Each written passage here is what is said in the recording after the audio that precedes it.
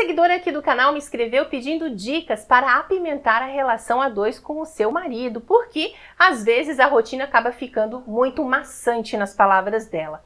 Mas será que esse realmente é o caminho? É disso que um relacionamento precisa?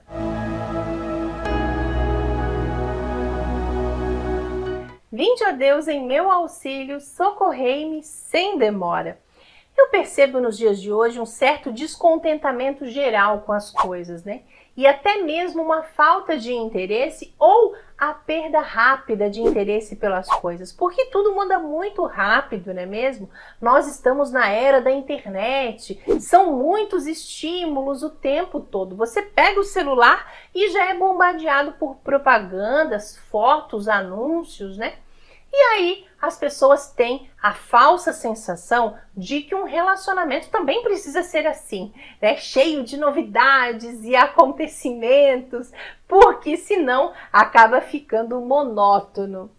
Bem, você já percebeu, né, que esse assunto é bem polêmico. Então, deixa o seu like aqui nesse vídeo, curta esse vídeo e fica comigo até o final, hein? Mas eu vou confessar para vocês que eu realmente não entendo muito bem essa situação, né, de uma pessoa reclamar da rotina.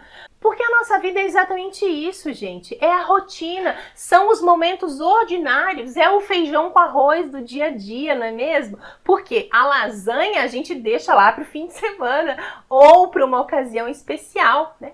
E até mesmo porque se a lasanha fosse o ordinário ali do dia a dia, certamente a gente também teria a tendência de enjoar e reclamar dela, né?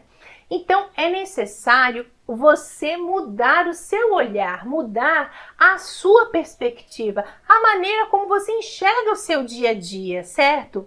No nosso matrimônio, eu e meu marido aqui, a gente preza muito pelos detalhes, pelas pequenas coisas, as gentilezas ali do dia a dia. É o passar pelo outro e dar um beijinho na testa, é o deixar um bilhetinho carinhoso escondido, é ir na rua e voltar com um docinho para o outro, né? É dar um abraço demorado, enfim é encontrar a beleza nos pequenos gestos, nas coisas mais simples mesmo, né? E por que, que o casal não pode ficar simplesmente um do lado do outro, né? Descansando ali, um do lado do outro, sentado no sofá, ou deitados juntos, de mão dada. Por que, que não é mais importante conversar sobre o dia a dia? ou pedir a opinião do outro sobre qualquer assunto, né? Um assunto importante ou não. E até mesmo, principalmente, né, nos assuntos que não são importantes, pedir a opinião, conversar. Eu e meu marido a gente conversa sobre tudo. E nós falamos sobre tudo mesmo, o tempo todo principalmente coisas que não são tão importantes assim, ou que não são assim determinantes, né? A gente conta um para o outro, partilha tudo, absolutamente tudo, até mesmo as coisas que eu vejo ou leio nas minhas redes sociais, as conversas que eu tive no WhatsApp, sim, eu conto para ele, né? E ele também da mesma forma conta para mim. É importante que o casal possa ter essa cumplicidade, né? Se divertir junto, né? E claro, ter momentos sozinhos, só os dois. A intimidade do casal é matéria do sacramento, ela precisa ser vivida de forma plena e constante.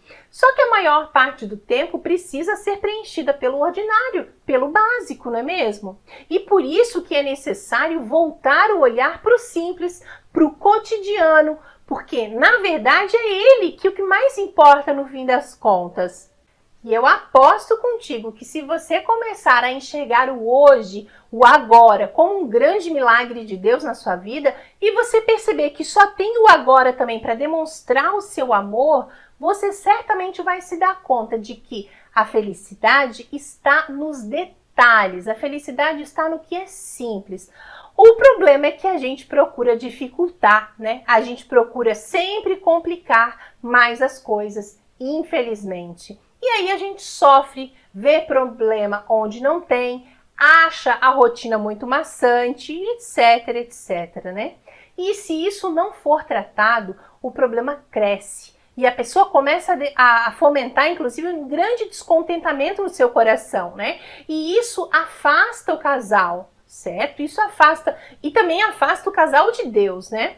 Que o nosso relacionamento tem que ser é, cultivado a cada dia, né? Como uma plantinha, né? Tem que ser regado, cuidado. É importante a gente ser cúmplice um do outro, querer fazer parte da vida do outro nos mínimos detalhes, né? Permitir que o outro faça parte da nossa vida, partilhando com ele todos os momentos, todas as suas aflições, as suas vontades. E nesse sentido também, a frequência aos sacramentos se revela muito importante, pois o casal que vai à Santa Missa mais vezes durante a semana, né? Comunga mais frequentemente, se confessa, enfim, vive em estado de graça, eu acredito que esse casal é bem mais feliz e realizado. E eu falo isso para vocês porque eu sou prova viva disso, porque eu vivi realmente uma grande mudança na minha vida e no meu casamento, na minha família, depois que nós passamos a ir à Santa Missa todos os dias.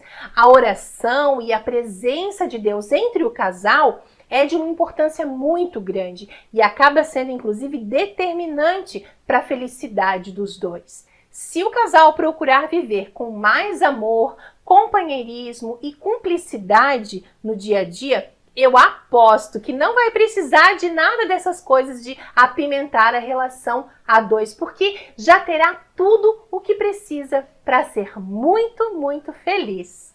Glória ao Pai, ao Filho e ao Espírito Santo, assim como era no princípio, agora e sempre, e por todos os séculos dos séculos.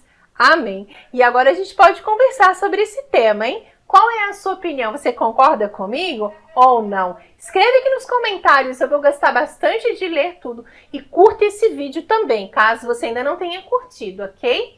Lembre-se de compartilhar esse vídeo com mais pessoas, né, para nos ajudar a evangelizar. E se inscreva no canal, caso você não seja inscrito. No sábado que vem, nós teremos uma nova reflexão aqui. E para você não perder, você clica no sininho e ativa todas as nossas notificações, porque nós temos vídeos diários aqui no canal.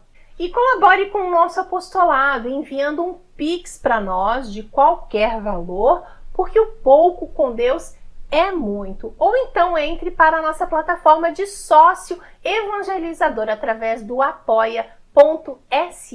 E siga-nos também nas nossas redes sociais. Os links para todas elas estão aqui na descrição desse vídeo. Um grande abraço, que Deus abençoe, salve Maria!